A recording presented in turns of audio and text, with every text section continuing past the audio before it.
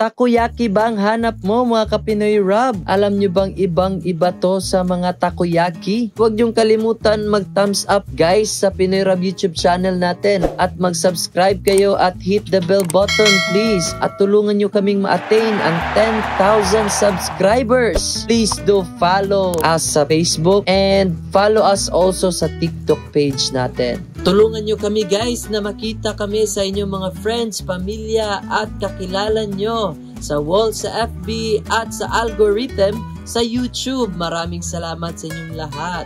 Ito ang takoyaki dito sa Cagayan de Oro City na may espesyal na ingredients. Oo, tama ka sa nakikita mo, merong octopus. Ito ang laman ng kanilang takoyaki, au nori flakes, takoyaki sauce, mayo, bonito flakes, octopus, spring onion at iba pa. Ito ang kanilang mga presyo.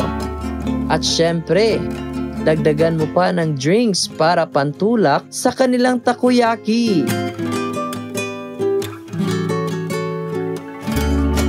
Niluluto ito sa bola. At lalagyan ng mayo.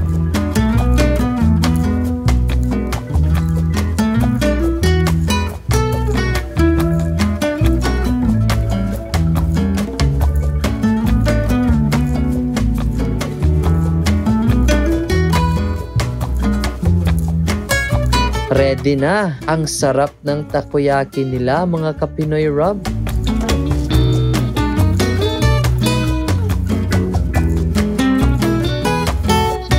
Kasama ng girlfriend, boyfriend at pamilya mo, pwedeng magtambay dito kasi meron silang tables and chair.